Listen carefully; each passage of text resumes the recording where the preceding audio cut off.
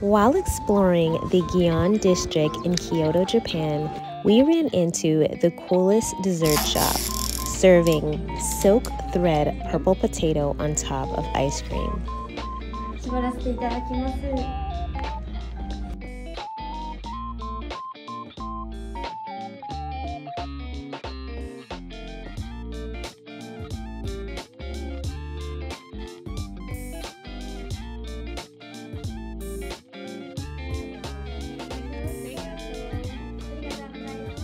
Believe it or not, you guys, this was so good.